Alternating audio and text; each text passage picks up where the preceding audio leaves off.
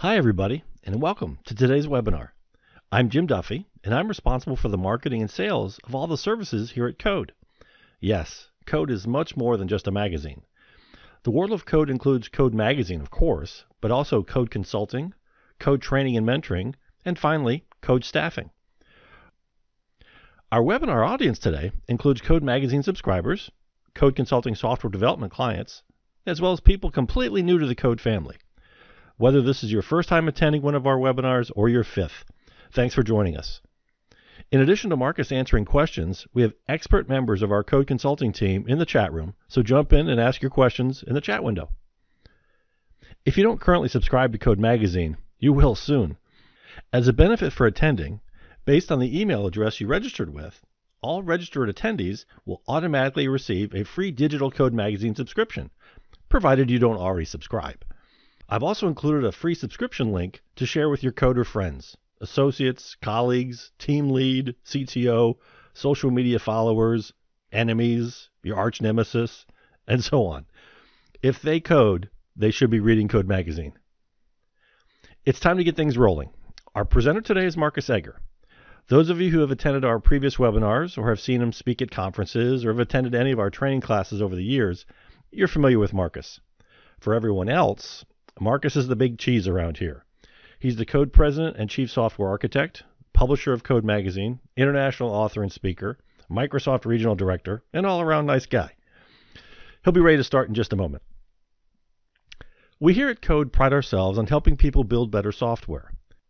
We build custom solutions from the ground up for some clients, modernize legacy applications for others, and support, maintain, and enhance existing applications for others.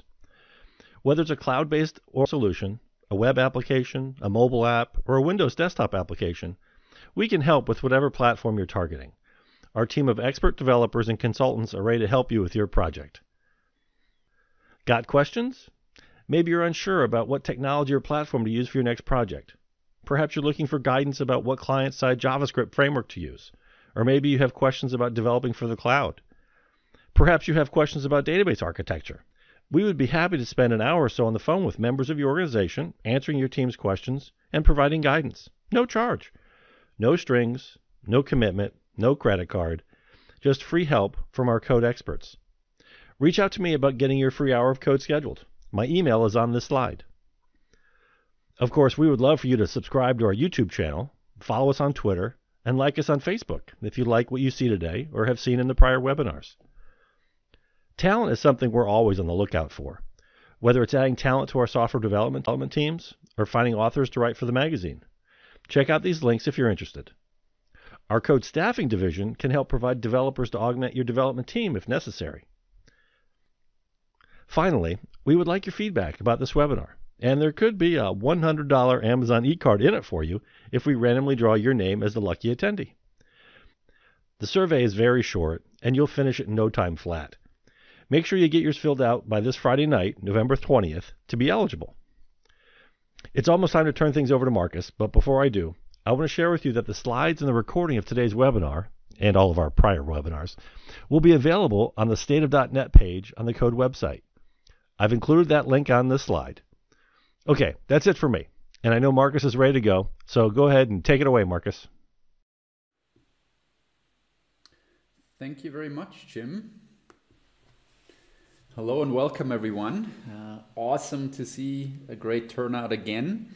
Uh, awesome to see how many uh, people watched our prior .NET 5 recording online even after the fact. So I know this is a topic where a lot of people have huge interest in what's going on. Uh, and we got a ton of more stuff to talk about here today uh, and probably for upcoming events as well. So looking into that, um, I just switch to the next slide here if I can get my mouse to work. So here's what we are going to talk about today. At first I'm going to do a .NET 5 overview and a little bit of a recap. Now some of the people that were in last month's presentation, they may know some of this already, but I'm going to go through this relatively quickly.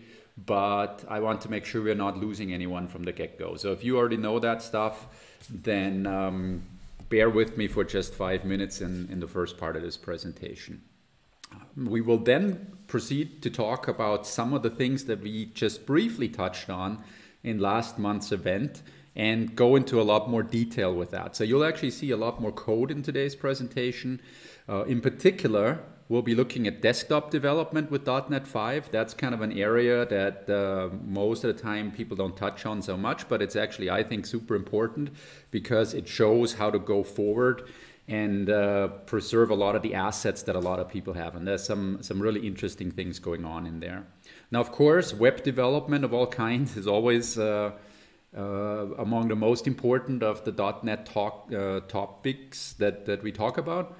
So Blazor is super important. We did a long uh, presentation about that in the past. I encourage you to go back to that and watch it. Uh, I'm not going to redo all of that today because we just don't have enough time. Uh, but I will go into some of the new things that are in Blazor that are really, really interesting. And then, of course, whether you do desktop development, web development, IoT development, you will probably always need some kind of API or service layer to actually get to your data to perform business logic and so on. And there's some really interesting new stuff in .NET 5 as well that we'll take a closer look at at today's presentation. Um, starting with an overview, let's talk about what .NET 5 is for a moment. And I think it's really important to understand the .NET vision. Uh, in .NET 5, the big vision is one .NET. In fact, that used to be the term that a lot of people referred to .NET 5 before we knew that .NET 5 was going to be its name. And what does that mean? Well, one .NET means that we are getting away uh, from the segmentation of the .NET market with different runtimes, different frameworks, uh, different SDK surfaces, and we're getting back to one big .NET that everything runs on. Now this is a long journey. The huge step is taken with .NET 5. In .NET 5, Microsoft created a single runtime that draws from the best runtimes that were around because we had several different .NET runtimes at this point. We had the classic .NET runtime. We had the mono-based runtime that especially the Xamarin guys were working on. Uh, we had things like the Silverlight runtime in the past. We have a runtime on Linux, on Mac, uh, for mobile devices, ARM, IoT devices, all those things play into that. And now all of that's brought together into one big runtime. And, and that's really interesting because it's not just that, oh, we've brought the Windows-based runtime or the server-based runtime forward, but there's many other areas that are really interesting, like the ARM-based devices, the IoT devices do a lot for optimization. The Mono guys used to do a lot for optimization. And those things came back into the core .NET 5 runtime and environment. And then everything that we now do builds on top of that. Now, did Microsoft get everything into .NET 5 that falls under that category? No, like always, there's some things that'll happen a little bit later.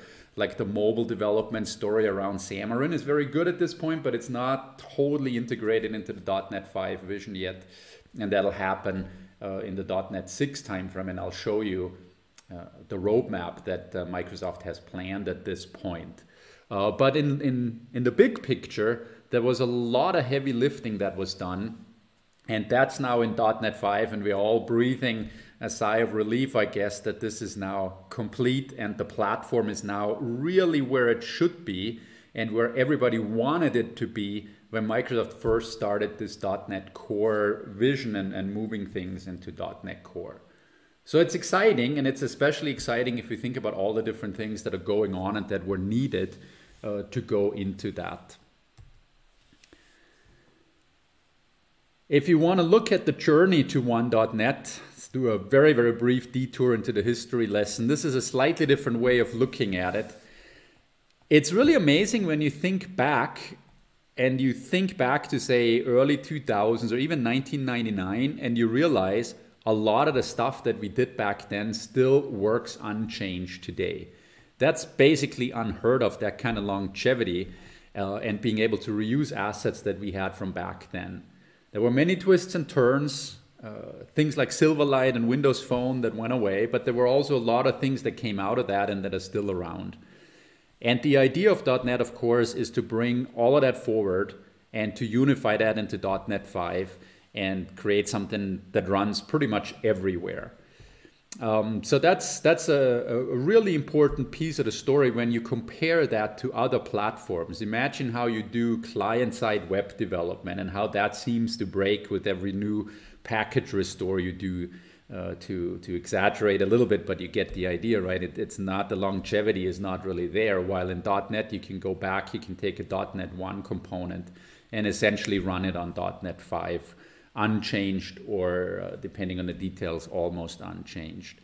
So that's huge and that's how it'll continue into the future. Now one of the big things about. net 5 is that there's a lot of new stuff there that's cool. There's a lot of new development that can happen on top of that platform but you don't have a huge amount of pressure to just abandon what you used to do so if you have an old WinForms app, uh, if you have a, a, web forms application, if you have a, an ASP.NET MVC app or, or anything like that, you should be able to move it forward without being in a dead end and without having a huge amount of investment and ideally gradually.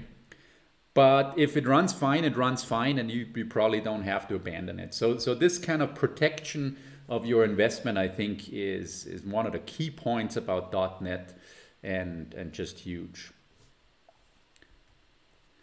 Here is kind of a few, uh, a, a diagram that Microsoft provided me that kind of shows that whole idea. Um, we have at core the .NET runtime, the .NET 5 runtime, which uh, is also .NET standard. So .NET standard is what we used to call it in the past. Going forward, that's still there but we probably don't have to call it .NET Standard anymore because it's just .NET 5 is .NET Standard. Um, and then we have some underpinnings like the compilers that compile into that and so on. But that's one solid foundation, and that is now finally really true. And then on top of that sit all these other things like the Windows development, the web development, the things that you automatically think about, the the cloud development, of course, needless to say that Azure is one of the driving forces behind all of this. I'm not going to talk a whole lot about Azure here today because we had specific Azure presentations as part of the state of .NET before. But that's certainly very, very important, and I encourage you to go back and watch those uh, earlier recordings that we did early in the year specific to Azure. So that's on sitting on top of that. Azure at this point supports .NET 5, and you can use all of that. Then there's the mobile development. That's a little less obvious. Now Xamarin is there. Xamarin is very popular. And Xamarin now runs on top of the .NET 5 runtime and it's becoming unified. And that means you're building applications that run on Android, on iOS, but also on the Mac and a few other things. And in the future, and now we're talking more .NET 6 timeframe, in the future, the Xamarin stuff will get even more important. Now, how important we will see uh, but the Xamarin guys are working on this really, really interesting initiative codenamed MAUI, which stands for Microsoft Application User Interface.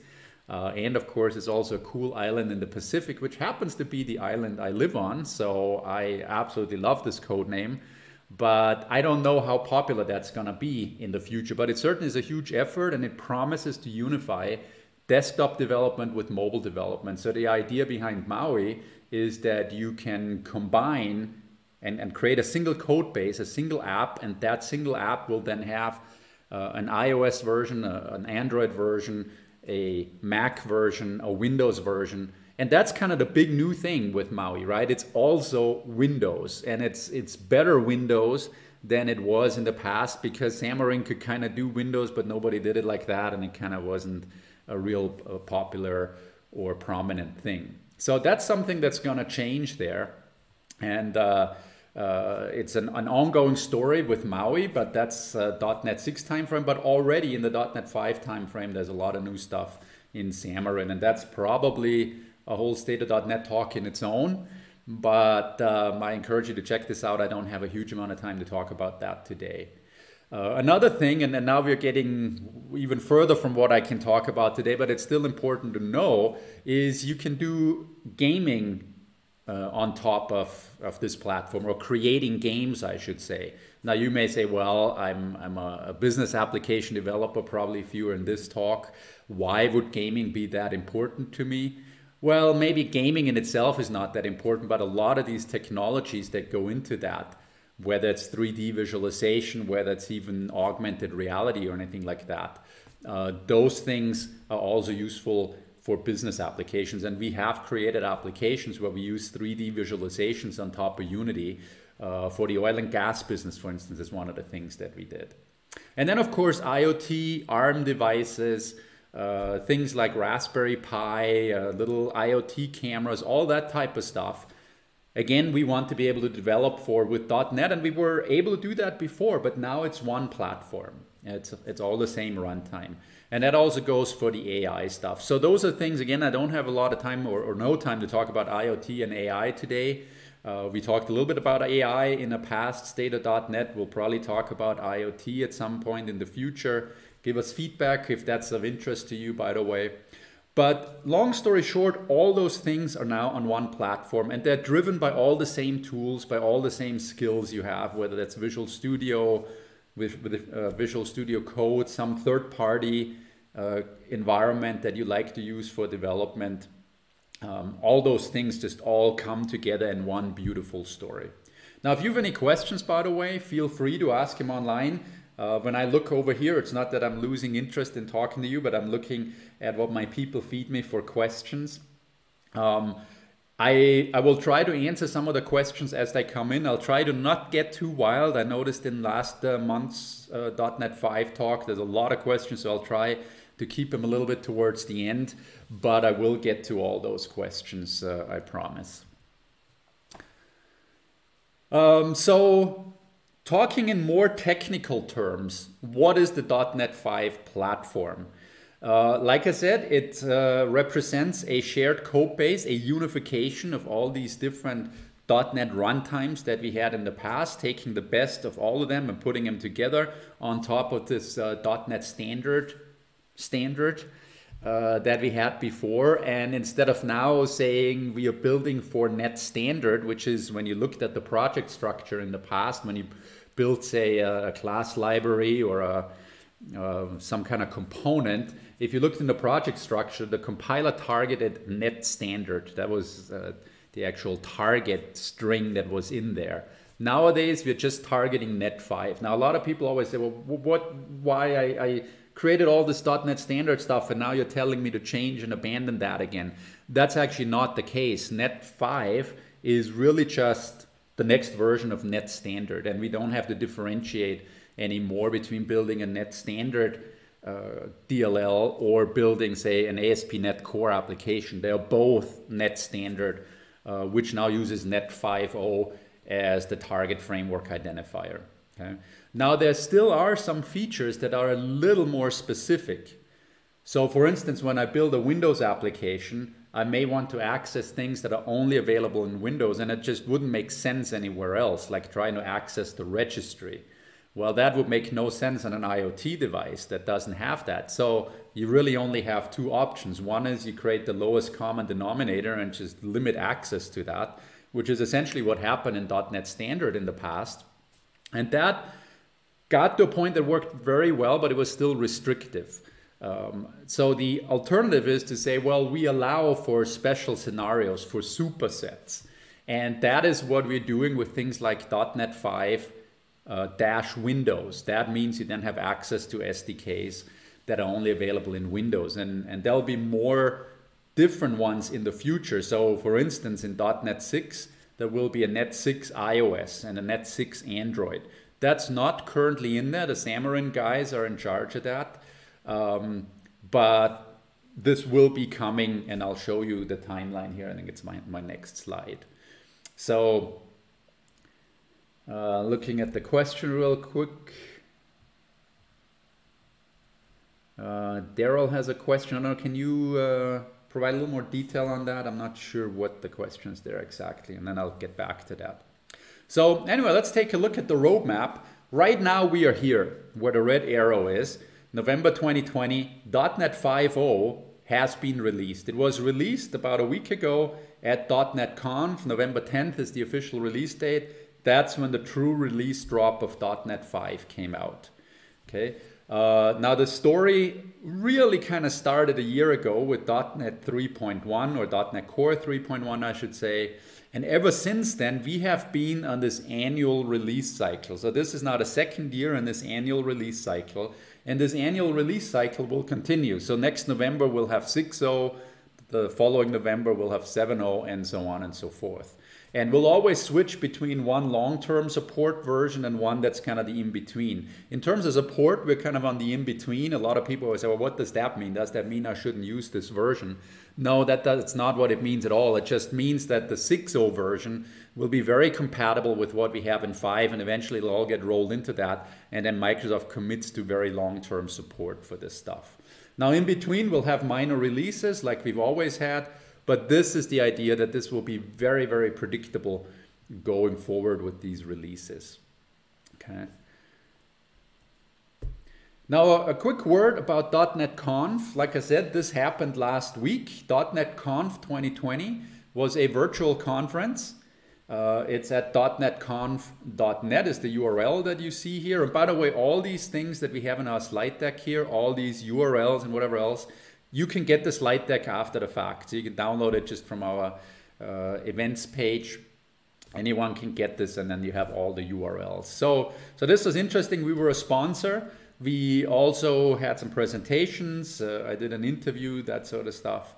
Um, and you can now go to this site. And in fact, I have this open somewhere. Uh, this is the .NET Conf site. If you go there today, and it has this sessions on demand link. So you can actually go into that and you can watch all the .NET Conf sessions from the keynotes to the even the community sessions. This was pretty much a, a 24 hour, three day long event uh, that just kept going on throughout the world. And there was community speakers that uh, had presentations at really odd hours of the day.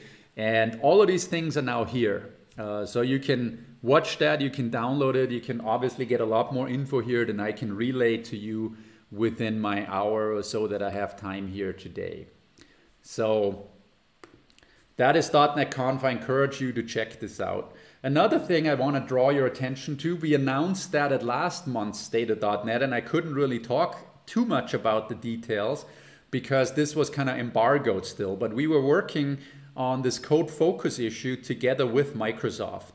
Uh, and this has since been released. What this is, it's an actual print mag uh, magazine, but you can also get the same information online here. If you just go to codemag.com slash focus, then this is just a free URL and it takes you to this issue. And in here, you'll see that we have a, a fairly large number of articles that cover all the most important uh, .NET 5 topics. So in a way, you can almost think of this as a small book that you can read cover to cover, telling you everything you need to know about .NET 5. And it's completely free of charge. You can do that here uh, on the website. You can also do it through our cool mobile app. It's probably hard to see here, but anyway, uh, if you have a mobile device, you can get access to it like that. And of course, it's an actual print publication. So if you're a subscriber, uh, you got this in the mail, hopefully already, or we'll uh, get it shortly. If you're not yet a subscriber, well, if you're in this presentation, uh, you're getting you're eligible for a free one anyway. Uh, but also pass this on to your friends and coworkers. This link at the bottom here is a free link. Uh, so I'm not trying to sell you anything. This is just free of charge and you can sign up for this uh, issue and you'll, you'll, just get a printed version of this issue if, if you would rather have the printed one. But anyway, lots and lots of detail. And if you actually attended .NET Conf and you attended my presentation last week, uh, last month, you'll notice that it kind of flowed through the topics that Microsoft presented. And that's no uh, coincidence. It's because we worked on a lot of this stuff uh, together. Okay. Uh, just a quick glance at uh, some of the questions. Somebody says, is .NET 5 cross-platform? Will it replace .NET Core? Yes, absolutely. .NET 5 is just .NET Core 5. It's the next version of .NET Core. It's just that we also brought in so many other things that we are not referring to it as .NET Core anymore. It's just now it's just .NET. This is this is the new .NET that has everything, including .NET Core. Um, what are the major incompatibilities of this platform? Well, there's lots of little stuff.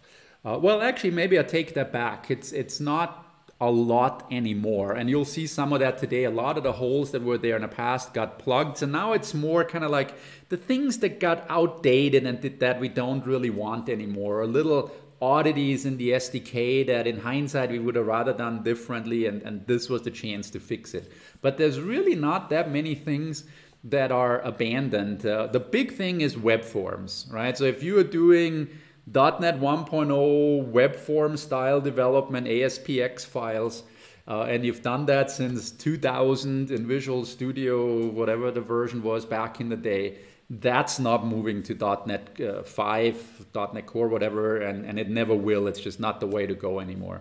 But other than that, many, many things have been moved over and are now there.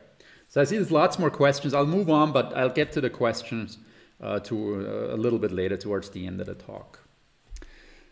So anyway, what do you need to do .NET 5 development? Uh, well, you need the .NET 5 SDK, one good way to get that is by getting Visual Studio 2019. Uh, I recommend you get the preview version. Uh, that's 16.9 something. Uh, but technically speaking, you can get the release version at 16.8, 16.8.1. Uh, those were the first versions that technically were released versions for .NET 5 that included all the .NET 5 bits and pieces. So that's what you need. Um, uh, to do .NET 5 development. Now you could also use, uh, of course, Visual Studio Code. You can use Visual Studio for the Mac. You can uh, even use uh, third-party IDEs, as I sometimes do, and they all support this uh, uh, new version as well. So that was one of the questions online that I asked, um, that that I answered, that was asked. So anyway, moving along here. so let's dive into this. And let's take a look at some specific development. And now we've seen a lot of slides. I think it's time we move on and uh, get into some coding stuff. So let's first talk about Windows development. There's many different things to talk about when we talk about .NET 5. I could have started with web development. I could have filled a day with web development. And I didn't want to do that because everybody always does that. And there's obviously a lot to web development. And I'll get to some of that a little bit later. There's things like Blazor, there's web API stuff. Um, but again, we've done separate state of .NETs on that. They're all available free of charge. Go and take a look at that. So today I decided let's start with Windows development because there's actually some really interesting stuff going on. Uh, and the one item that's at the top of my list is that WPF and WinForms development is now supported as a first class citizen in .NET 5. Now that was already there in a way in .NET Core 3.1, but that was the first step into that. So it was supported, but you could see it was kind of a version one. And it was great that that was there, but the designer support was lacking and some features were lacking, like click once deployment that a lot of people uh, were relying upon. Now we have a much more complete version and a version that's actually even improving on some of those technologies. Uh, so we have improved designer support both in WinForms as well as XAML. Uh, so some of those designers didn't work at all in .NET Core 3.1. Now they all work and they, they've actually been improved. So let's just actually go into Visual Studio. So I have uh, Visual Studio 2019 preview here. And we can just go ahead and we create a new project here. And I'm gonna search for WinForms templates. And I'm gonna look, of course, for C Sharp. And you see that when I look for WinForms templates, I see WinForms app for .NET Framework, and I see WinForms app for .NET. When it says just .NET, then that means it's .NET 5. We're not differentiating anymore between full framework, .NET Core, .NET Standard. It's just .NET, right? So we'll go ahead and uh, I'm just gonna put that into my test folder. And I'm just gonna do a very quick thing here just so you see what's going on. There's a question online, what's the difference between .NET Core 3 and .NET Standard 3.0? Actually, there wasn't a .NET Standard 3.0. There was a .NET Standard 2 and 2.1. Uh, and that was just a standard specification as to what .NET supports across the board. Kind of what's a what's a common denominator that every version of .NET should support. And when you chose that as a target to build your project, then it would make sure you're not using things that are not generally supported. Now we're just moving beyond that and we're on .NET 5 and whatever works in .NET 5 generally works everywhere and if not then uh, the IDE and the designers help you with that. So here is our project, the uh, C Sharp Windows Forms project. I could now go ahead and, and build my app and do things like drop buttons on here and, and uh, check boxes and whatever else. I'm not going to go into anything specific here. Um, but what's different about this and what's important about this is, first of all, the way the project structure works.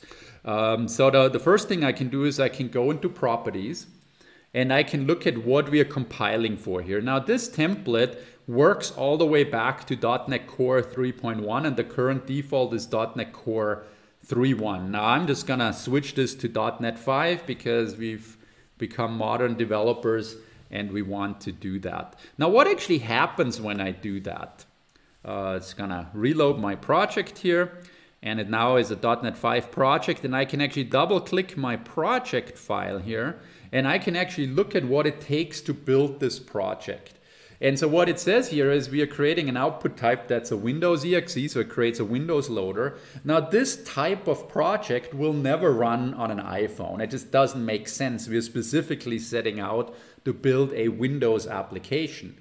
So what we're doing is we're using .NET 5 with Windows specific extensions. That's what this tells us and that's all we need to do to create a .NET 5 Windows app that runs on this new platform. Um, and otherwise, it's just .NET 5, right? So I could now hit F5 and run this, and you can imagine what that looks like. It's a Windows Forms app that starts up. But that's the, the main difference is uh, that we now have this. Now, a lot of people say, well, what does this buy me? Uh, this is really just going to run my WinForms application like it always did. And to some extent, that's true. Now you're going to benefit from some improvements. You're going to ben benefit from some fixes. You're going to benefit from some modernizations that were made. But those were admittedly relatively minor. But what this does for you first and foremost is it gets you out of a dead end. It means that WinForms is supported going forward in a platform that makes sense if you need to build Windows apps. Um, and, and you're not abandoning your investment, right? So that's pretty significant. Now you can also now use in your WinForms app, you can use new APIs and SDKs. So for instance, if you want to integrate with Azure, well, a lot of the stuff that's done on Azure is only made available for .NET Core in terms of opening, uh, in terms of providing a nice SDK and API surface. Now you could probably do low-level REST calls for a lot of stuff, but to really productively work on stuff, it's nice to have all the modern stuff. And with this, you can use it, right? So that's that's very interesting. If you want to add, let's say, machine learning as an example to your old WinForms app, you don't have to abandon your WinForms app and rewrite just to get those new features, but you can add them in. So that's really important. Now, does that mean this app is just going to run on Linux and is going to run on a Mac? No, it doesn't, because this app is still a WinForms app. It relies on many Windows technologies that are there under the hood, like system.drawing and, and that sort of stuff. And therefore, it can't just run on Linux or the Mac. Now, would it be nice to have a Windows platform that runs on, uh, Win on Linux and the Mac and mobile devices as well? Yes, it absolutely would. That's what the Xamarin guys are doing with Maui. And we'll see how that turns out over the next year or so. Uh, but this is still a Windows app, but it's getting all the benefits that this platform provides. Now, moving along here, I actually switch over to an app that I created ahead of time. So in this case, for instance, I created, I, I went a little further with this example and I created a WinForms app uh, that has a few controls on it. So I, I dropped a few buttons on it and then I dropped uh, this new thing on here. And this is actually a very interesting thing that we've gotten now with this .NET 5 generation of software. And that is the WebView 2 control. Now that is something that comes along as a NuGet package. Okay, so you can go to NuGet and you can load this. I already did that. I added it to my packages here. Uh, so it just says uh, Microsoft.web.webview2. It just comes in as a package. And even though I'm in Windows Forms, that is now supported really nicely. So as I go into my toolbox, for instance, uh, I could now search for my WebView 2 control, and here it is. So just because I added it as a NuGet package, it now shows up in my toolbox. And, and so that shows how we now have this experience that's real nicely integrated that didn't as such work before, right? So so that's a cool thing. And, and what does this do exactly? Well, this is a web browser control. Excuse me. It allows me to embed HTML type content in my application. Now, in the past, I had two options for that. I could host the old web view control, which was essentially Internet Explorer hosted inside of a Windows app.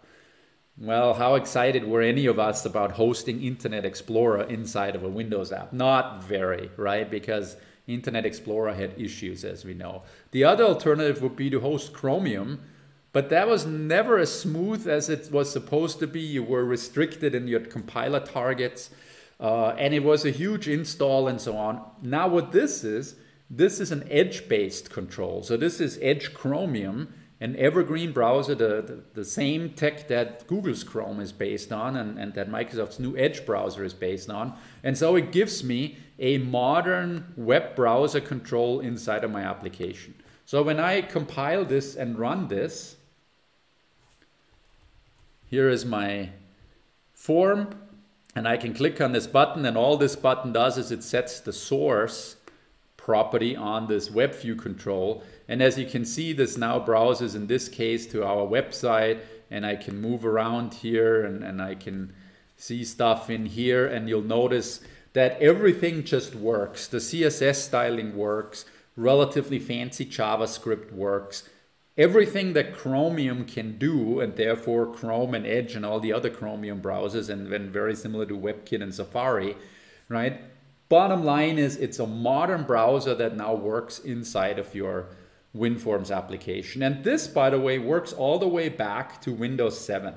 So just because we're using Edge doesn't mean it has to be Windows 10 works back to Windows 7. So that is very cool in my mind. I, I really like that.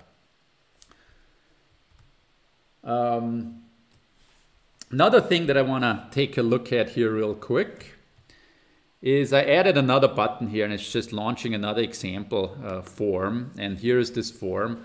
And this is a relatively simple and straightforward form. It has, as you see, two text boxes and an update button. And we can look at the actual code here. Double click into this. Um, and what we see here is I'm instantiating this form and, and in the constructor of this form, I'm creating this user object and I'm setting first name, last name, and a created date. And I'm then assigning uh, the first name and last name to those text boxes. Nothing fancy going on here, right? But the, the thing that's interesting here is this user is not a class. What this guy is, is a record. Now this as such doesn't have anything to do with WinForms or WPF or anything like that. But what's interesting is that we can now use new features like C Sharp 9 records. Now what are C Sharp 9 records you ask? Well, they are this new feature that the C Sharp team added that's available on the .NET 5 platform and beyond. And it's something that really helps you with asynchronous coding. In other words, this is a special kind of class that you can now use that is immutable and therefore works really well with multi-threading and asynchronous execution. And so this is something that I used here and I'm, I'm, I'm, integrating it with Windows Forms. And when somebody clicks on the button and I want the values back out of those text boxes, I read it back out, but I'm using this new with keyword and then I'm just displaying that information. And the reason I'm showing you all this is not that it has anything as such to do with Windows Forms, but I thought this was a very interesting example of a new feature in C Sharp that is super useful for modern development. And that's a feature that somebody else may use, and you may then get a component that you want to call inside of your app, and it needs to understand that. And you now can, right? So this is an example that I put together because I wanted you to see that moving to the .NET 5 platform gives you access to all this new stuff. Okay, So I think that's very, very interesting and, uh, and, and definitely worth mentioning as well. Few other things here to mention really quick. Um, one is, I'm not going to show a sample for this, but it's ClickOnce deployment. So if you're building a WPF app or building a WinForms app, or you have done that in the past, then most likely you will deploy it, or, or relatively likely, through ClickOnce, because that's just a good way to do deployment and auto updates in a, in a very controlled and rich fashion uh, for Windows desktop apps. And ClickOnce didn't work before uh, in .NET 3.1. And it's now fully supported and works really nicely and just essentially does what you think it should do. Uh, another thing that's more interesting or also very interesting, but that I'm actually going to dig into is single file deployment. What does that mean? Well, one of the things with .NET Core apps that was always problematic was that there were these awesome new apps that worked really well in, in cloud environments that scaled well, that could do side by side. We got away from this problem of which version of the framework is installed on the machine because it was just all very self-contained and you could have different versions side by side on the same box or in a, in a container or whatever. And that was all awesome. But when you had a simple scenario, like I want to build a single exe and I then want to deploy that exe, just Xcopy deploy it on a thumb drive, then it became really difficult because he had all these things that needed to be included because it wasn't part of Windows anymore. The full .NET framework is part of Windows, but you're kind of stuck with what you have on that box. With .NET Core and now .NET 5, you're independent of what's on the box, but it's your problem now to put the right things on the box, right? And so single file deployment fixes that. So what you can do with this, going back into code here, is when you look at your uh, project file, you could add a few more attributes. Like you could say, publish this as a single file is true. Uh, when you do that, it has to be prepackaged properly for a specific environment. In this case, uh, it's a Windows app, so WinX64 is what I chose. So that's my default that I'm creating. Now, I could target multiple things if I had, say, an ASP.NET web project or an API. I could still create a single file app and deploy it as that to a web server. But then maybe I have different targets. I want to support Linux as well as uh, Windows and, and other things. So I could put that in there.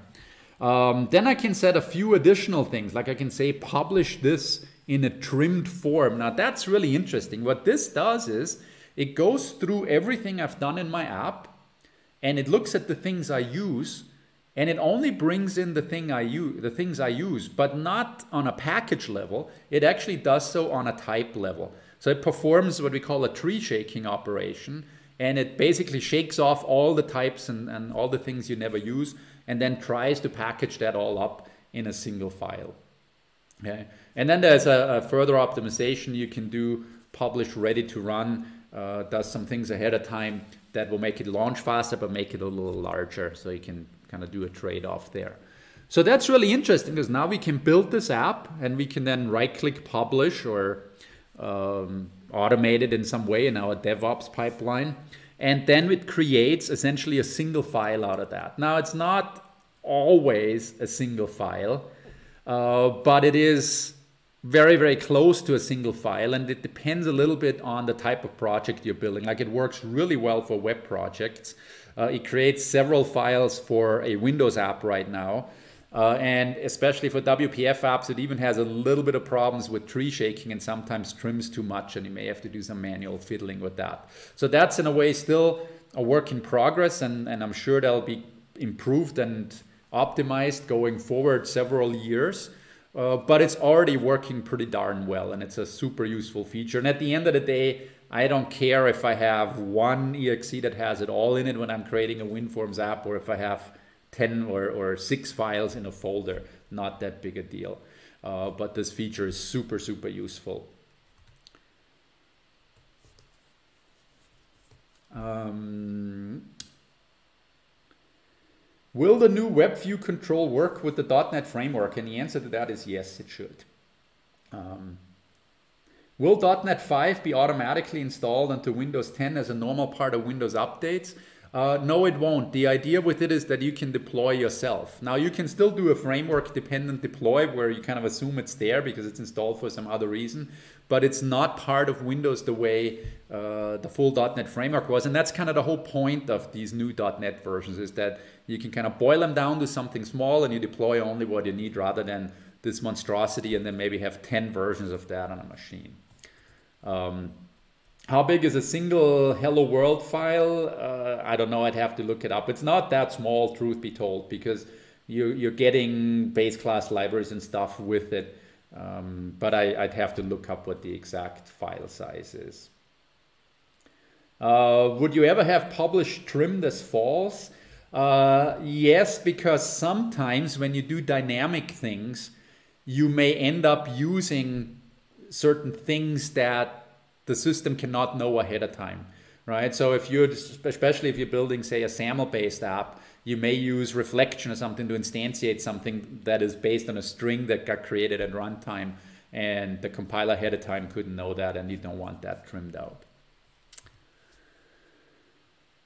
Okay, now I've already seen this as a question further up, but I knew I was uh, going to get to my slide here what does it take to convert full projects, full framework project, classic framework projects to .NET 5? And the answer to that is in many cases, not very much. And there now is actually a tool that helps you do that called the try convert tool, which doesn't ship out of the box with Visual Studio, but you can get it at this GitHub hub URL that I have on the screen here. Uh, and this is one of those .NET tools that you can install as a global tool you just uh, issue this command that it installs it. And then you can use a project, and I'm gonna go and I'm gonna open one here that I created ahead of time. And I called it my old style app, and this is a, a super simple app with just a single form, and it has some get file and get folder dialogues. And you'll see this is compiled to uh, .NET Framework 4, so pretending this is a really old app. I made it earlier this week, but you get the idea. And when I run this app, uh, it just does some, some very simple things. Uh, so it has a get file dialog and I can go and I can pick a file from my hard drive somewhere and it puts it into the text box here. And then I can also do the same with get folder. And it brings up this get folder dialog and, and you've probably seen this dialog before. And it's this horrible dialog that nobody really likes. Um, but but it works, right? That's what WinForms does, and and there you have it. So this is my WinForms app, WinForms C Sharp. Uh, we can't really dig into this project file easily. I'd have to unload it, and and it's this monstrosity of a project file that's based on MS Build. And that's just the way .NET 4 full framework apps uh, used to work. Right now, I can now go into my uh, command line here. And I installed this try convert tool. And I see, we see here what's in this folder right now. And I can just go ahead and I can say try convert. And then I can say uh, dash W, which uh, tells it uh, I'm looking for a solution file, which is actually a folder deeper. Whoops.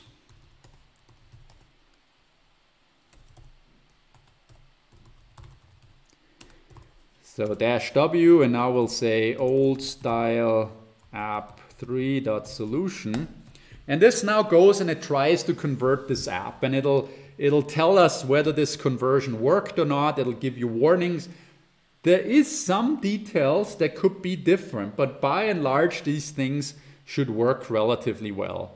Okay, so it does this conversion. Now over here tells us, hey, something changed. Uh, do you want me to reload this? And yes, indeed, I want to reload that. And this has now created out of our old project a new .NET 5 project or a converted .NET 5 project. Now you see the designer still works, the code is all the same, but I can now actually double click my project file here and see what's in the project file and you see that it's targeting .NET 5 Windows. Um, and we can now go ahead and we can run this. And now it runs on the .NET 5 platform once it compiles. Um, and it'll largely be the same app as before. Here it is. So I can go in here, do a get file dialog and grab one of these guys and I can do a get folder dialog. But notice that the get folder dialog now has changed. We're now immediately gaining an advantage by using the latest version of the framework right? So I'm to say that, and it works the same, but it's using newer components, but it's compatible, right? And that's what you should expect a lot of times when you're using the new framework. Now, is there some little incompatibilities, some SDKs that changed a little? Yes, there's some, but it's not like going from VB6 to VB.NET, right? It's still the same overall environment. And in general, moving should not be that painful. Now, with third party components, can get a little trickier and, and just try it. Copy your, your project to another folder, use the try convert tool and see uh, what happens with that. Um, .NET remoting, remoting isn't supported. Have two very similar questions online, .NET remoting and WCF. And those are things that are currently not supported. I don't see remoting being brought forward. I would really try to replace that with something else. And WCF as such is also not really brought forward uh, there is some things on the client side that work, but there is an open source community project around that. So that's promising, right? To get some WCF things into the platform. And, and so that might still work. But it's a little bit up to the community at this point. So those are two examples.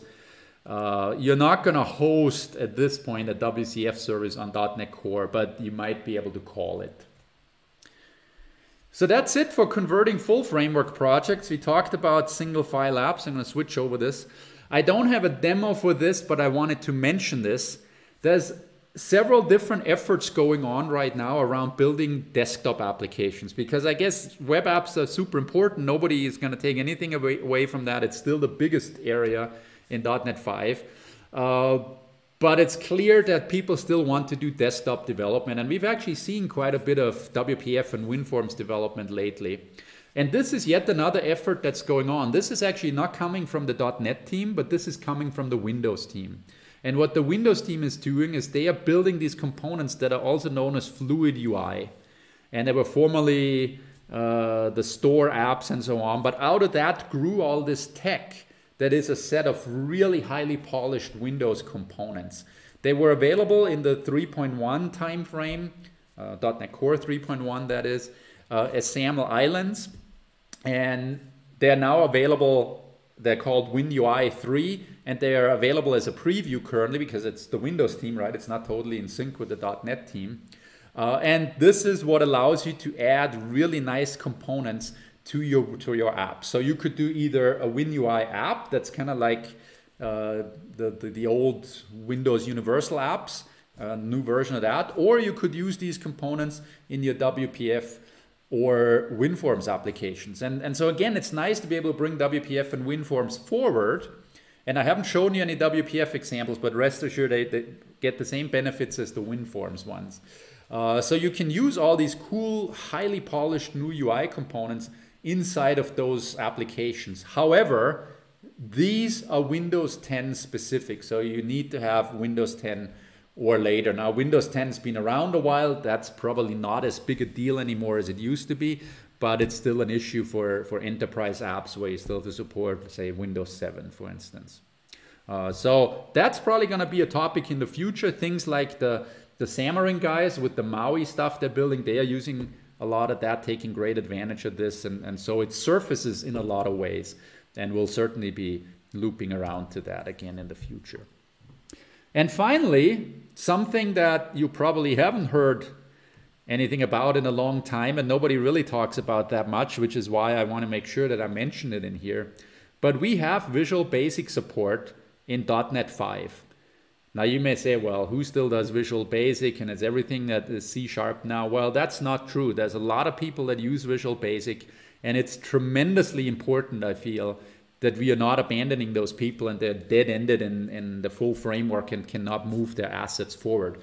So with this, you can now build Visual Basic applications on top of .NET 5. Typically, that would be WinForms or WPF apps, I guess.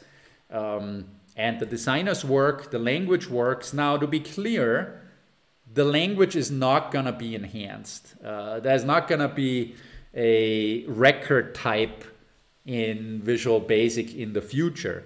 Uh, but everything that was there worked, and of course you can use the new APIs and integrate with all of that, and and maybe even gradually move to C sharp because that is where most of the action is happening these days. But this means you can now take your VB.NET app, bring it forward using the try convert tool, and it should just work out of the box and uh, same characteristics as a C sharp conversion. And now you can move forward with your Visual Basic desktop application into the new world. So, so that's in a way unexciting to a lot of people. But if you need this, and we have a lot of customers that do, uh, in fact, we have some uh, old Visual Basic apps ourselves in our own infrastructure that we are running, and it's tremendously important that we can now move that forward and then gradually move on. And that's a big theme these days. We should really have moved past this idea of you throw out your whole system and you rebuild and, and we'll see you again in two years. Uh, that should not happen if you've started building a system in the 2000s, right? If you're using VB6, okay, there was that big step, but since then it should be much more gradual, and I'd expect um, that uh, you should be able to do that. Uh, some questions. Windows services, I believe there's no templates for that at this point, but I'd have to look that up. And SSRS, I believe works, but I'm not an SSRS expert. But ping us, ping me afterwards, uh, because we do have some people in the company that are SSRS experts, and I can get you that answer. Is there a straightforward way to, to migrate a pure Windows app to the Mac uh, with .NET 5?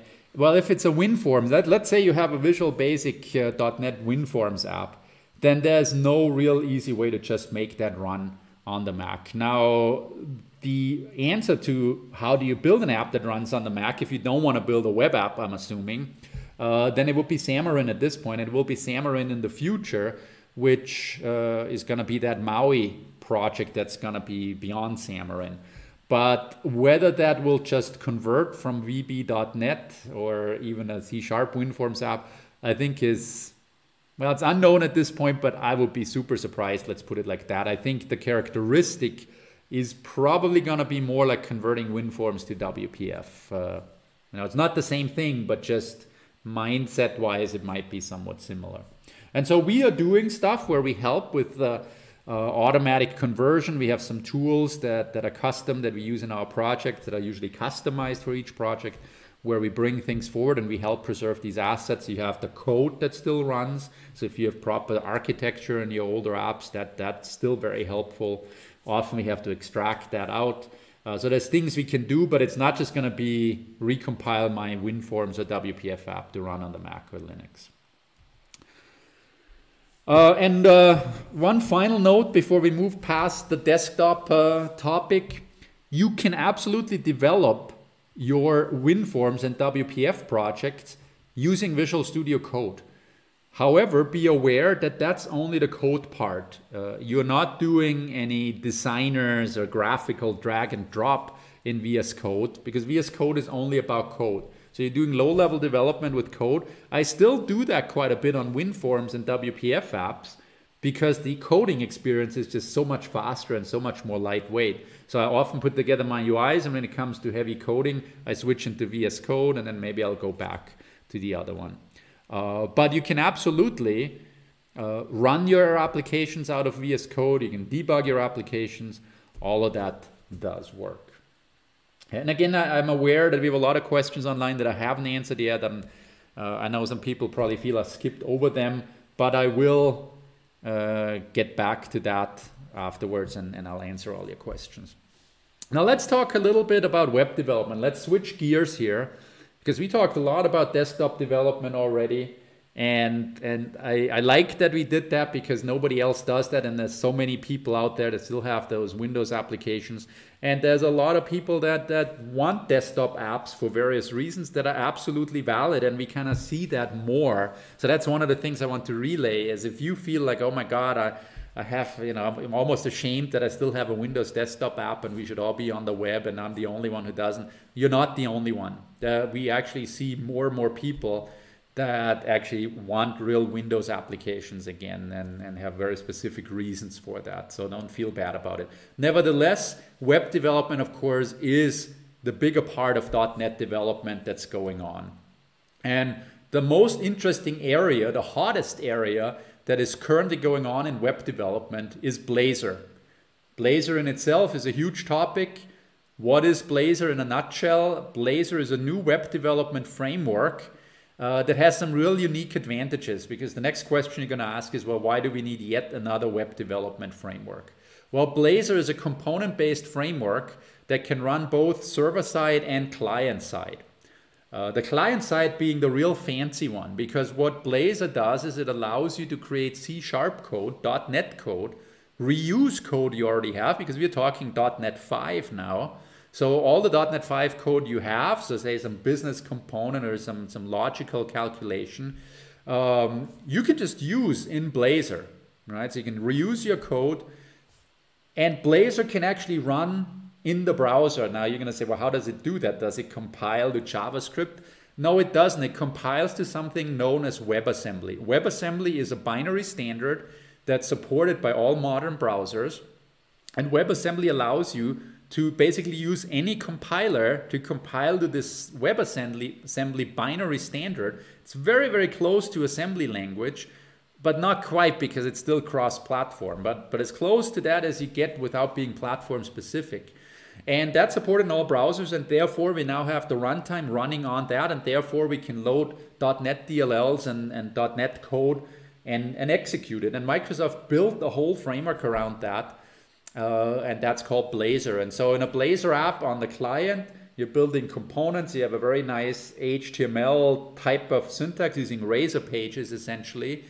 And inside those Razor pages, you can write C sharp code or you can write JavaScript code. You can integrate with CSS, HTML, that it still uses that for the UI, but the code is done, uh, or at least can be done in .NET and it integrates well with JavaScript as well. So that in a nutshell is Blazor on the client, also known as Blazor WebAssembly. And then on the server side, we have something that's syntax compatible, but it can run on the server, but uses the same model, which is the nice framework, the component-based framework around it. Uh, so that's Blazor, and we have a whole State of .NET that just focuses just on Blazor, very popular uh, State of .NET that I did, and it's available for free uh, to watch on stateof.net.com.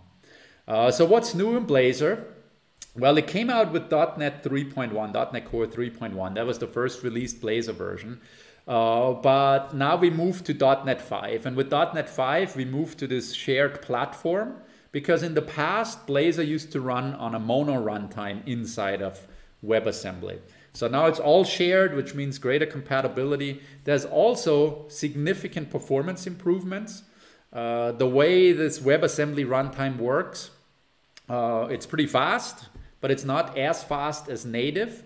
Uh, but they've now gotten a lot closer again with this latest uh, version. Now there's a few specific features that I can't all get into. Things like pre-rendering for performance is very nice. Virtualization support I'm actually going to show you uh, a little bit of an example about. so let's go back into Visual Studio here. And my big sample app here has a Blazor app. We'll make that the startup project and collapse everything else. And so what we have here is you can already kind of tell by the structure of this project that we have a web application. Uh, you can even combine this with, with uh, typical ASP.NET server-side stuff.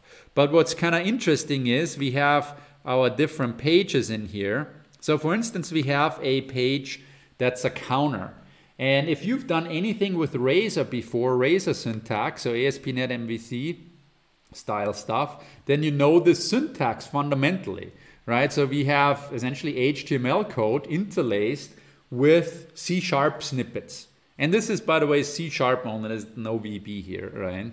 But so we have that, and then we have extensions to that. So for instance, here we have a button, and we have the add on click event. Now that's an extension Microsoft provides us to say, hey, when, when somebody clicks this, call uh, an increment count method. And note that the increment count method is written down here as C sharp. The C sharp is going to compile into a .NET DLL, which is then going to run uh, inside of WebAssembly, inside a browser. And that could be any browser. It could be iOS, it could be Android, because it's supported everywhere.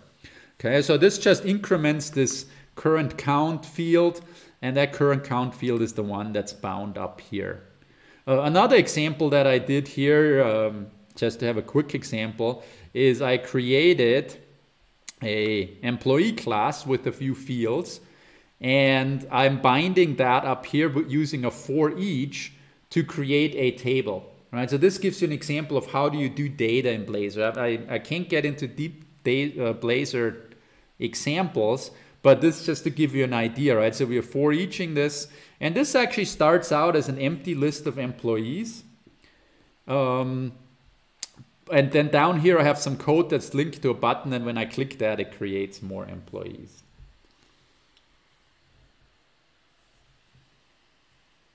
And so let's fire this up. We'll run this. Build succeeded, it says. Here comes the browser.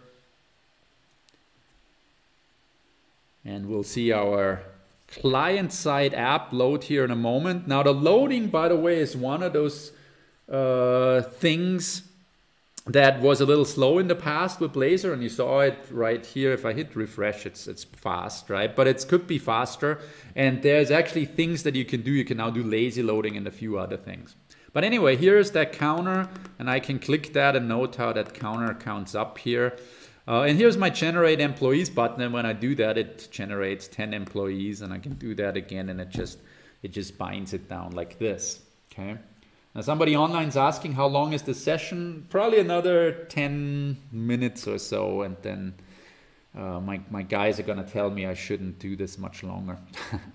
um, now, one of the performance improvements that we have in Blazor is when we deal with a lot of data. So let's say I'm creating 100,000 employees every time I click that button. If I do that, you would notice that the display takes probably, you know, noticeably, probably 10 seconds to refresh. But I actually have a different syntax that I can now use here. So instead of doing a for each loop, Microsoft now introduced this optional virtualize component and I'm going to take the for each out. And this will then automatically perform virtualization for me. So it's almost syntax compatible except instead of for each I'm doing virtualize. And I'm telling it what items to use and how many at a time it should do. And we'll let that run again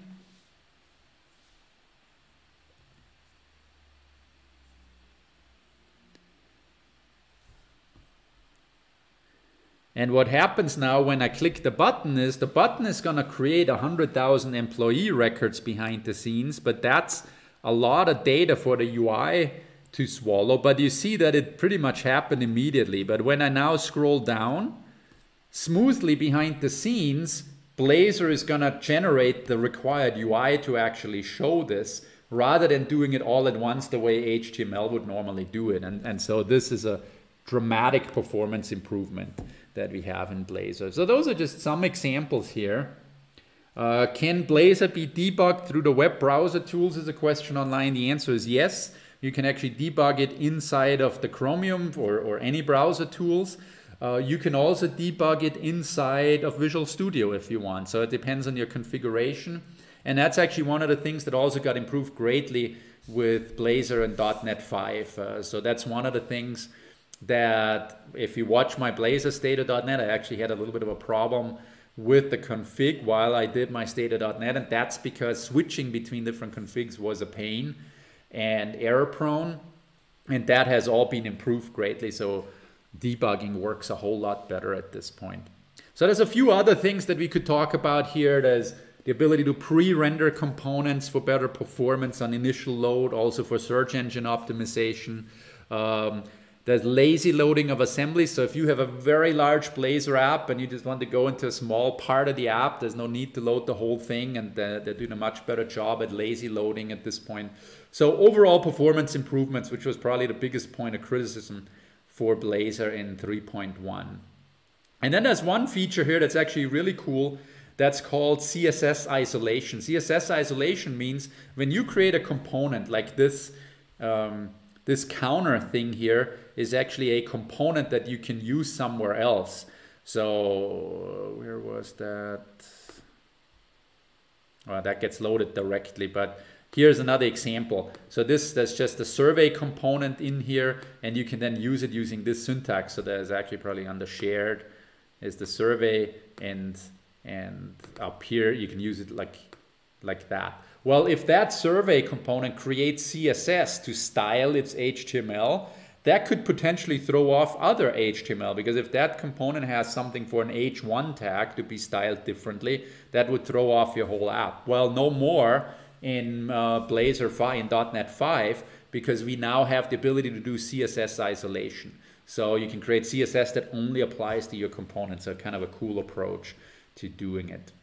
I also want to draw your attention not just to the State of .NET we did, uh, go watch that as well, but at .NET Conf, our very own uh, Dr. Otto Dobritzberger did a whole presentation uh, on Blazor as well and comparing client and server-side Blazor, which is very, very interesting. So go ahead and watch that as well. Here's the YouTube link. You can find it relatively easy, but again, you can also download this slide deck with the link in it and we'll send you some follow-up information on that.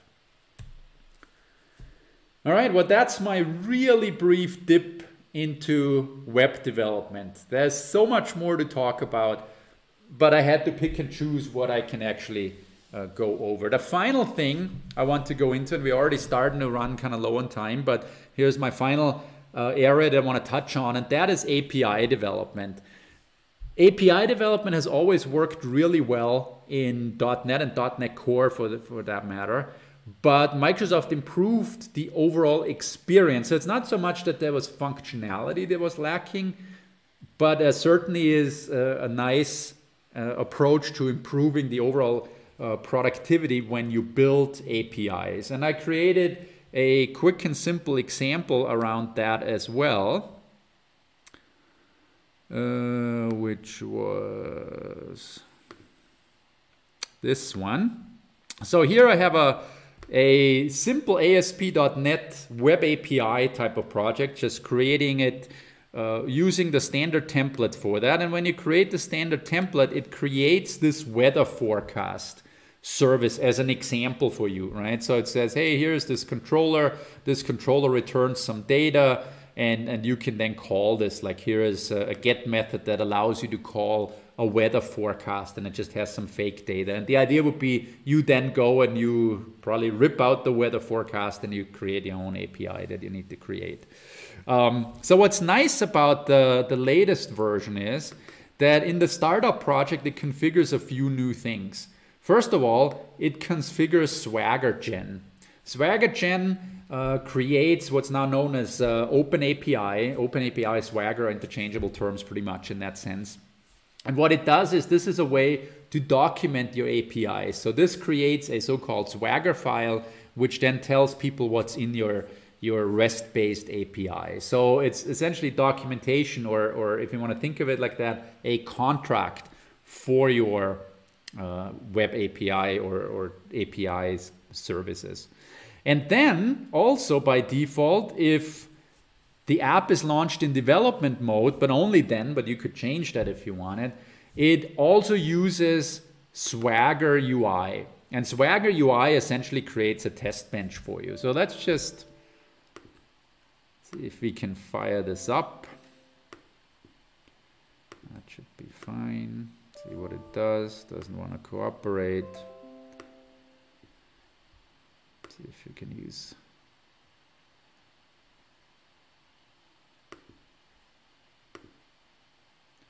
Kestrel for it. So this compiles the app, it then enables everything that's in that app, and here it's launching.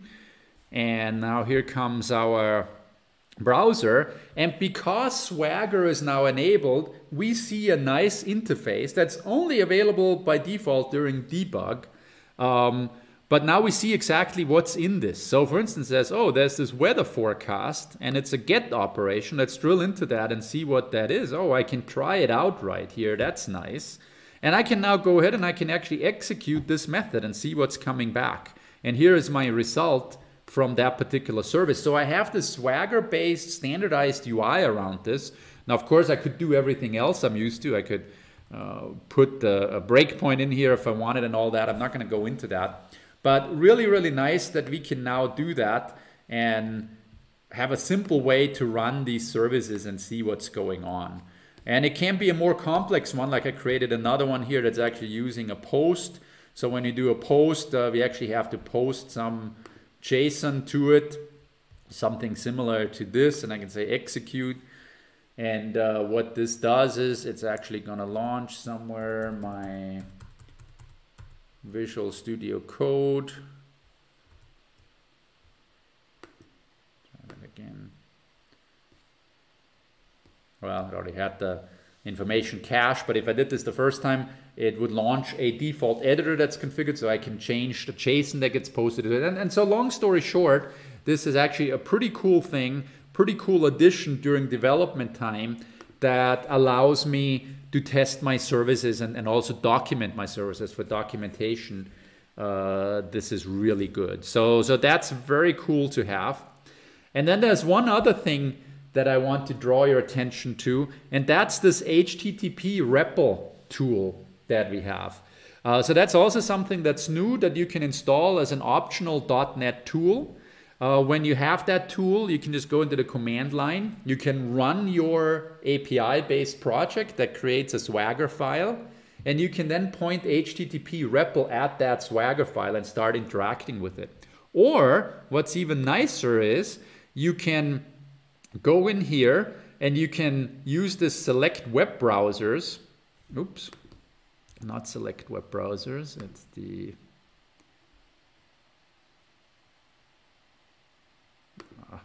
where am I at? It's not this. Hmm,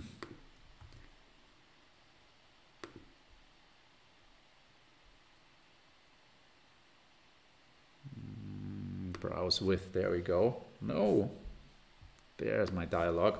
Okay, so what you can do in here is you can define different ways of launching your app. And note what I did in here is I added HTTP REPL uh, right in here to my ways of launching the app. And you can do this by saying add.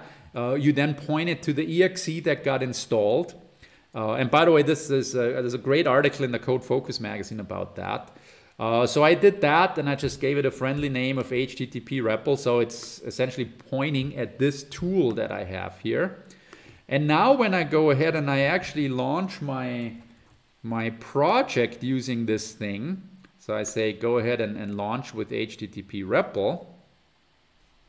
If it is switching. It's not totally cooperating at the moment. There we go. Okay.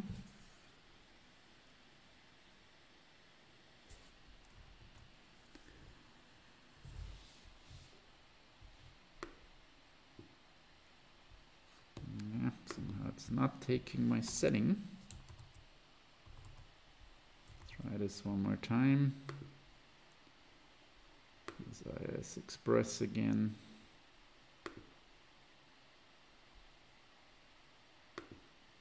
Yeah, that should be fine. See if it does it or if it's giving us problems. Yeah, always the last demo that fails.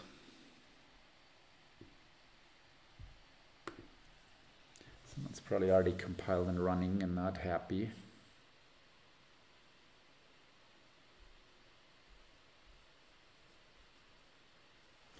There we go. Okay, so then this REPL tool starts up and notice we are now in a command line utility that looks like uh, a directory browser. And we can actually go in here and we can say dir and notice that it shows us our services that we have as if they were folder. And if you're a Linux guy, you could do ls, right? Both work. And so now we could do something like cd weather forecast, and I can actually type WE and hit tab, and it just does it. And then I can do there again. And so where are we at? Oh, we're in this weather forecast. We can do a get. Well, we run a get, and here it goes.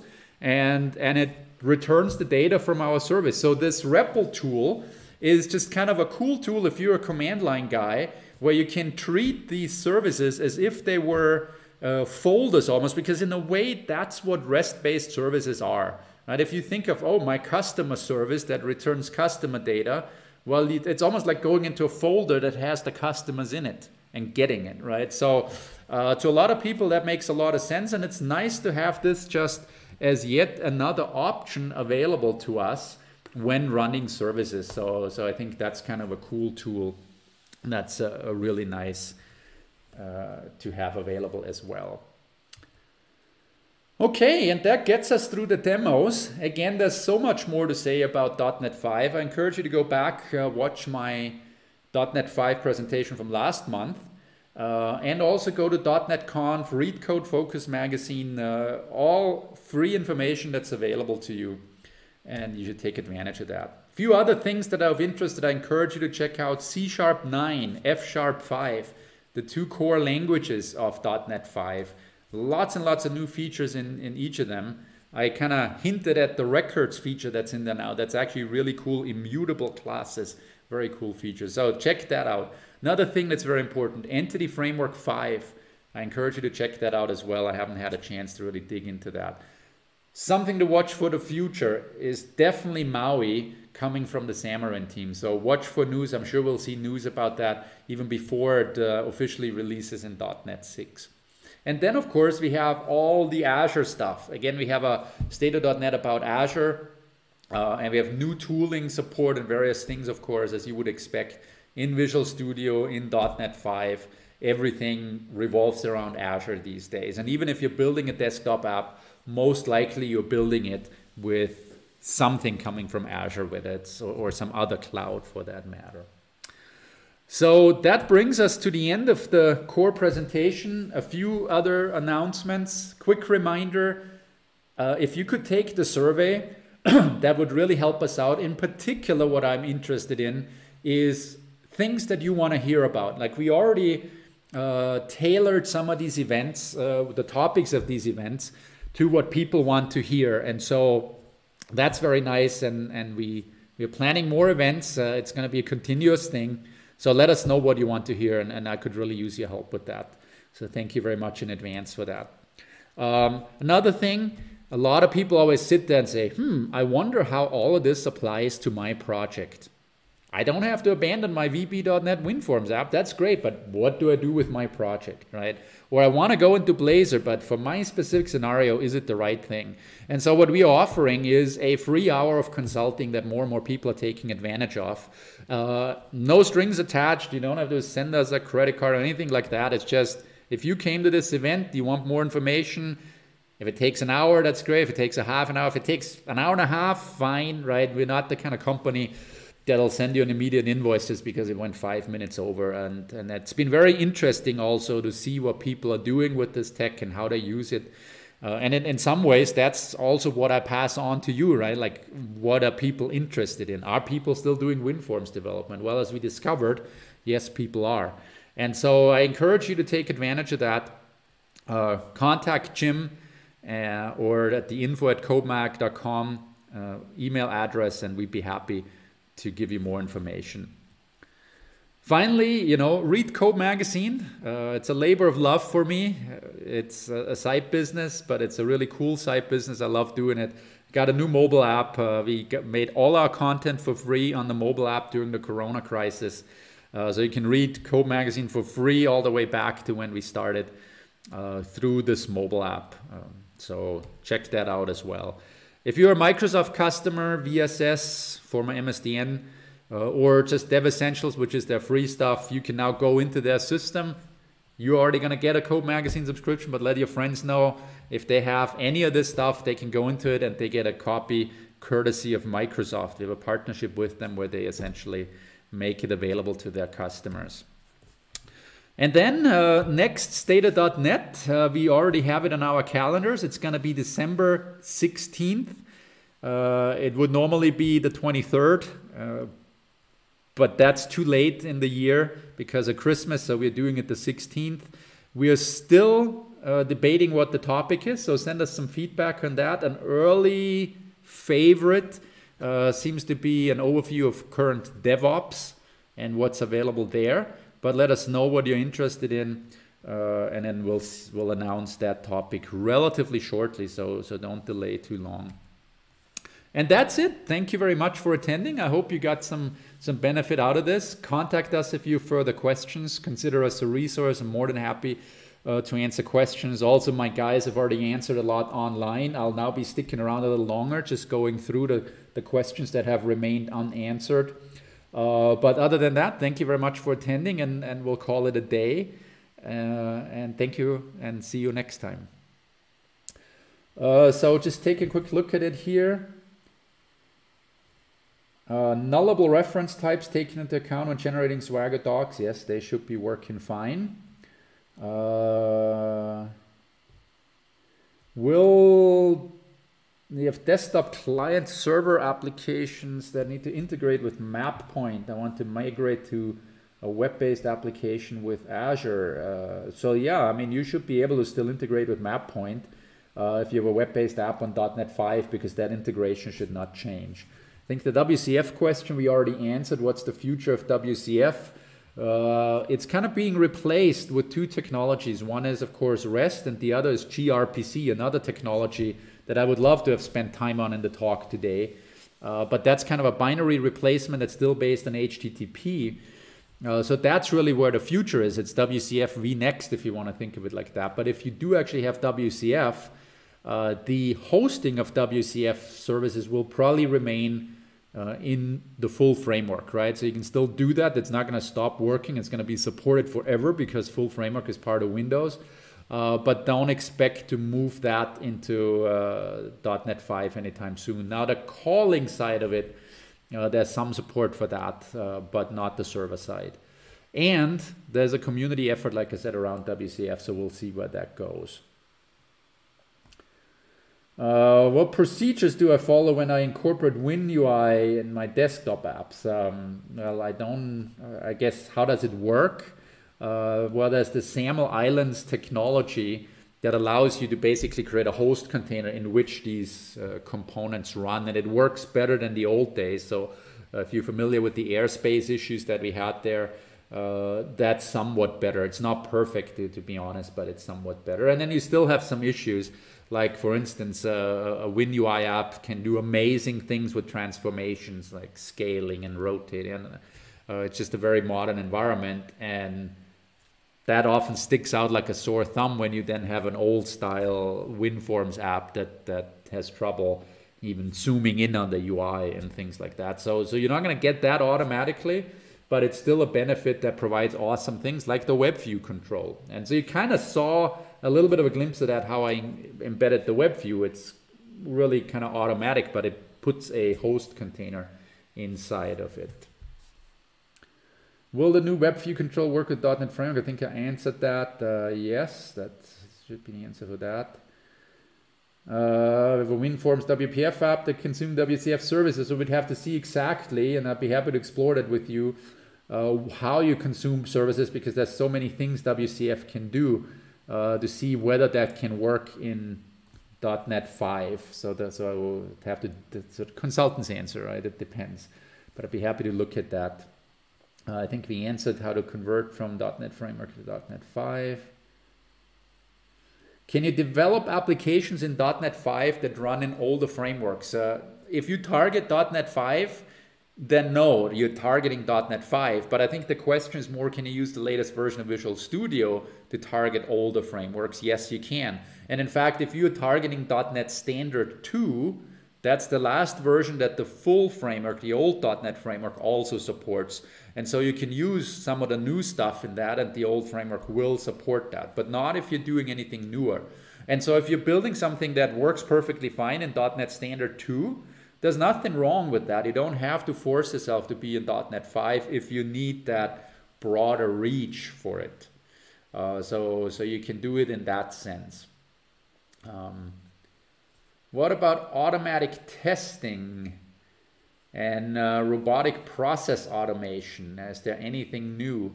Um, I'm not the guy to talk to about uh, RPA, to tell you the truth. So I I'm sure there's a ton of new stuff going on. Uh, there's some things that I'm a little bit knowledgeable about, like Project Mojave, that uh, that are really cool, and I encourage you to look into that. But I can't knowledgeably uh, speak to anything beyond that. So if you want to take that offline, uh, send me an email. I can get you the answers on that, but I personally am not uh, not the guy. Um, so question, somebody says we've built uh, old style .NET Framework apps which run well on thousands of machines running the .NET Framework 4.5 and later. Windows 7 and Windows 10. How long will these continue to work? They will continue to work just fine. That framework version ships with Windows, which means every time Microsoft puts out a version of Windows, the support cycle resets.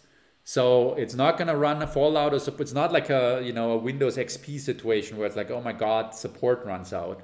Those applications will be supported for the foreseeable future, and if they run fine, let them run fine. There, there's no need to to convert that. Now, if you have an easy conversion path because you use try convert and and you know there's not a lot that you'd have to change then i would encourage you to look at that because you know you get some newer dialogues as you saw in my example. You get access to newer apis much more easily. You don't have to always dip to low level http rest calls. Uh, so all the new stuff it's going to happen on top of that stuff. So if you can convert it easily great. But if not that stuff will continue working just fine okay so so don't freak out over that we, we're kind of on the Microsoft platform, we're kind of past this, you know, panicking you out of, oh my God, my old app is to die. It, it's not. Um, somebody's asking about an, an app that they want to convert using WCF, WPF Enterprise Library, among others.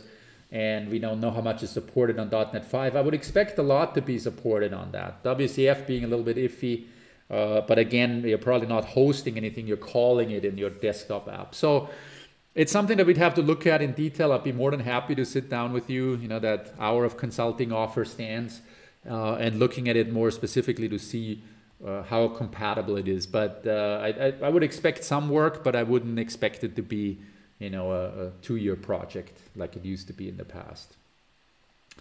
And uh, same as a, another question, how much effort will it be uh, it depends uh, uh, how hard it is to convert the old WinForms app to the to the core, but it's probably easier than you think. Is would be my answer. But I'd be happy to explore it with you in detail. Um, somebody says uh, created library projects with .NET Standard and then implementations with .NET Core. Does the .NET 5 approach change in any way? No, that's essentially the same because it's just the newer version of .NET Core in that sense, right? That may be simplified, but in that sense, it really should work just like that. So you should be in really good shape with the investment you had. And I think that's it with the unanswered questions. Uh, uh, oh, there's another one. Improvements to SignalR. Um, I'm not sure the core whether core SignalR has received any improvements. It's more that SignalR is being used in various new ways. I'm sure that caused improvements. I'm not. I don't have a list of improvements, but for instance, the Blazor server-side stuff uses that to communicate with the client, and so it's there's new stuff in that sense. But I think the core is very stable and works really well. So I think that was the last question. Um, and with that, we'll, we'll call it a day. But feel free to contact us if you have any more questions, like I said, and I'd be more than happy uh, to answer that. So thank you very much and see you next time. Thank you.